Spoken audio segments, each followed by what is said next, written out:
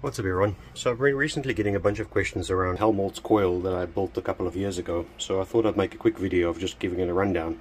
So just as a recap, what we have here is a device that tests a device's magnetic fields response in terms of um, simulating the Earth's magnetic field.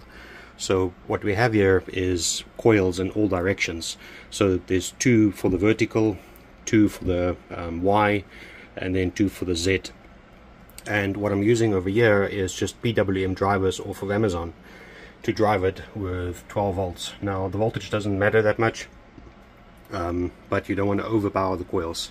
So if I just grab one of the controllers here you can see get closer you can turn and control the orientation of that device if I put that off and I grab one of the other controllers I think this is X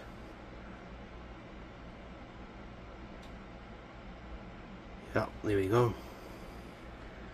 You can turn that that way or that way. You can turn that off and then I can control the Y with the other axis.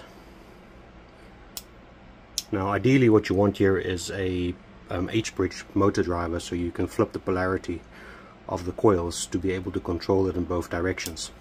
But for what I wanted to do here this actually worked perfect so the construction over here, what we're looking at inside is a gimbal effectively, but it's iron nails and a magnet on both opposite ends. And those nails act as the pivot point because you want a very low friction pivot point. And this is one of the best, easiest ways to make a low friction pivot point. Inside the yellow container is just a bunch of magnets end to end for these coils to act against. So thought I wanted to give you guys a bit of a rundown of what's going on here. If you have any questions, just drop me a mail below. All the details and stuff I'll put in the description as to how to calculate all of the coils and uh, magnetic fields and things like that. Cheers.